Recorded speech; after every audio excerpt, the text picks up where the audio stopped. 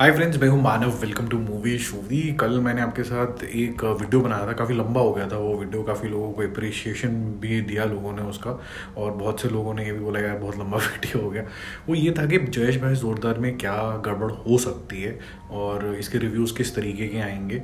तो वो सब मैंने आपके साथ शेयर करा था सो थैंक यू आपने काफ़ी ज़्यादा उसको अप्रिशिएट किया, बहुत से लोगों ने कमेंट भी करे।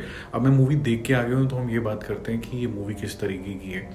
तो जिसने बनाई ये मूवी उसका आई थिंक जो इंटेंशन था, जो पहले क्लियर नहीं था, वो ये था कि हम सीरियस मुद्दे पे बात तो करेंगे बट कॉमिक तरीके से इसको समझाने की कोशिश करेंगे। तो हम यही समझ में कोशिश करते हैं कि क्या कॉमिक तरीके से हमें ज़ोरदार तरीके से बात समझ में आई कि नहीं आई। तो एक सरपंच का बेटा है और उसने नेक्स्ट लेगेसी को आगे लेके जाना है और उसको भी सरपंच बनना है।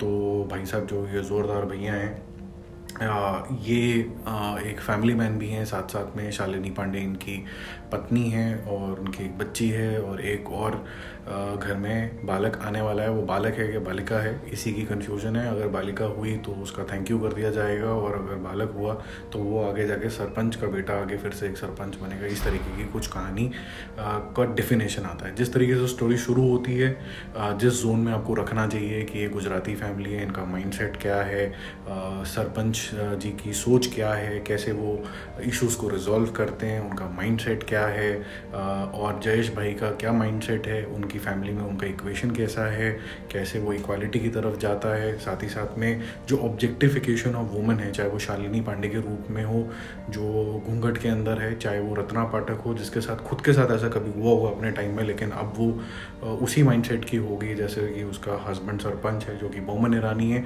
तो ये जो जोन है, उसमें आपको अच्छे तरीके से लेके चला जाते हैं। तो आपको जो चीज़ें अच्छी लगेंगी, पहले उसकी बात कर लेते हैं। जो मैसेज देने की कोशिश करी गई है जो माइंडसेट दिखाने की कोशिश करी गई है, वो बहुत अच्छा है। Dialect ninety percent of the actors ने ठीक पकड़ा है और स्पेसिफिकली जो एनर्जी लेवल है जयेश भाई का, यानी कि रणवीर सिंह का, वो आपको काफ़ी अच्छा लगेगा। जो इसके फैंस हैं, वो इसको थम्स अप ही देंगे।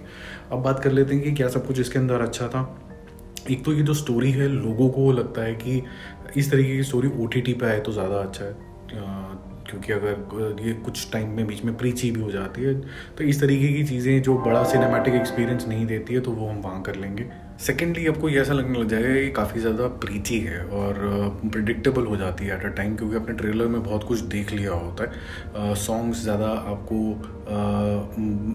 दिल को छूने वाले सॉन्ग्स नहीं है, ऐसे आए गए वाले हो जाते हैं। और सबसे बड़ी दिक्कत यहाँ पर यह आएगी कि क्योंकि इसको कॉमिक टोन के अंदर सीरियस मैसेजेस बेचने की कोशिश करी गई है तो आपको वो जो कॉमिक है, वो कॉमिक कम और वो जैसे कहते हैं ना कार्टूनिश ज़्यादा लग जाता है। तो एक कॉमेडी होती है, जो होती है वर्बल कॉमेडी जिसके अंदर डायलॉग्स बहुत इफ़ेक्टिव होते हैं, उसके अंदर मीनिंग ढूंढना होता है। एक होते हैं, जो कि होते हैं by your body language and by your actions वो एक्शन ओरिएंटेड कॉमेडी होती है कि मैंने ऐसे मारा और ऐसे करके ऐसे कुछ हो गया और किसी को लग गई पिन लग गया। तो ये जो कॉमेडी होती है एक्शन करके हंसाने की कोशिश करी जाती है, वो इसके अंदर यूज़ करी गई है, जो इतनी ज़्यादा इफ़ेक्टिव नहीं यहाँ पर साबित होती है। सिर्फ़ एक ही बंदे की एनर्जी आपको बहुत ज़्यादा हाई लगती है और आपको कभी कभी लगता है कि बाकी लोग इतना एनर्जी नहीं दिखा रहे हैं तो ये थोड़ा लेम हो गया। जो पॉइंट मैंने कल भी रेज किया था, वो यही है कि जिस तरीके की इसकी मार्केटिंग हुई है वो बहुत ज़्यादा बेकार हुई। क्योंकि मैंने आपको पहले भी समझाया था कि अगर मैं आपको एक साल से ये सीड इन कर रहा होता कि हिंदुस्तान में जो सेक्स डिटर्मिनेशन का इशू जो है, या फिर बच्चियों को जो मार दिया जाता है, वो कितना बड़ा है? वो इंटरव्यूज़ होते उन औरतों ने जो सहा है उनके बारे में बात हो रही होती और ये बात होती चली जा रही होती एक साल तक तो आपकी जो सेंसिटिविटी है, वो काफ़ी ज़्यादा हाई होती। तो इस तरीके के कंटेंट को आप अप्रिशिएट करते हैं। अभी आपको ऐसा लग रहा है कि ये एक जेनरिक बात हो रही है। जेनरिक बात बहुत बारी हो चुकी है तो इसमें नया क्या है? इस वजह से ये मेरा पहला ऐसा एक्सपीरियंस है, जिसमें मैं हॉल में सिवाय मेरे और कोई भी नहीं था। सिर्फ़ एक सिक्योरिटी गार्ड था और मैं था जो ये मूवी देख रहे थे, खाली सन्नाटा एक भी जना नहीं था। पहली बार मेरे साथ ऐसा हुआ कि सिर्फ़ मैं अकेला बैठा हूँ। कोई भी नहीं है। कोई है ही नहीं। मतलब मॉर्निंग शो के अंदर फ़र्स्ट शो साढ़े आठ बजे लग गया, लेकिन उसके बावजूद कोई भी नहीं था। तो काफ़ी स्ट्रेंज ये बात है। लोग, उन्होंने पहले ही डिसाइड कर लिया उनको क्या देखने का और क्या नहीं देखने का तो मेरा मूवी शो स्कोर इसके लिए रहेगा बी बहुत ज़्यादा इम्पैक्टफुल मूवी नहीं है। जो कॉमिक तरीके से डिलीवर करने की कोशिश करी गई थी, वो डिलीवर होता है, लेकिन इफ़ेक्टिव नहीं है।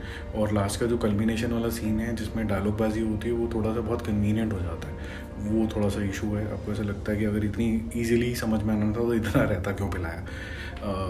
एनी वैसे तो जैसे लोगों ने एक्सप्रेस किया है कि उनको इस तरीके की मूवी जो है ओटीटी के ऊपर देखनी है तो ओटीटी पे ये अमेजॉन प्राइम वीडियो के ऊपर आएगी और आप इसको करीबन सत्रह जून के आसपास देख पाएँगे, ये टेंटेटिव डेट है। बाकी काफ़ी लोग जो थिएटर में नहीं जा रहे मे बी इस तरीके का कॉन्टेंट वो ओटीटी के ऊपर कंज्यूम कर लेंगे। तो मिलते हैं जल्दी एक और रिव्यू और अपडेट के साथ। Don't forget to subscribe the channel bye bye